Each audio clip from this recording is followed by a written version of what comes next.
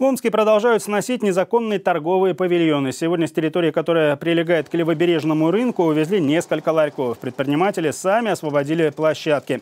Уведомления получили 26 собственников. Владельцы нестационарных объектов должны были съехать до 21 февраля. Однако к требованиям э, Министерства имущественных отношений пока прислушались не все. Оставшиеся ларьки в ближайшее время снесут.